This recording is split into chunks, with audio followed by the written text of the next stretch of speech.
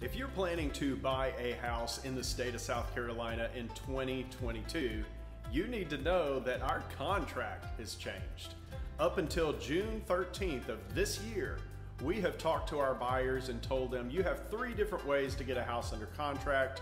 You can get it under contract in repair procedure, due diligence, or as is.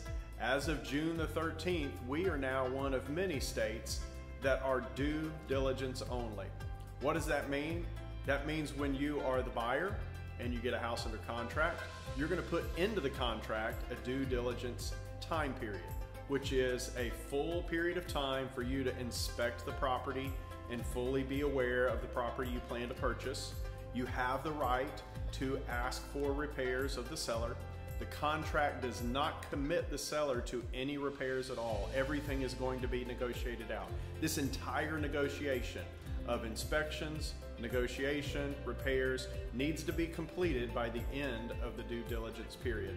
You do have the right to change your mind and terminate, and what you have to do is hand in the agreed upon termination fee at the right address um, with that termination so that you can move on and the seller can go back on market.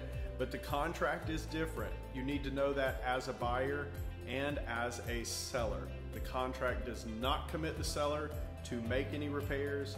Everything is negotiable, but everything has to be negotiated out by that due diligence deadline. Now, there are things that uh, can live on past that date. Um, that includes an appraisal contingency, a home sale contingency, finance contingency, clean CL 100. There are other things that happen after that date, but that's the first big date and the first big change in our contract in South Carolina in a long time.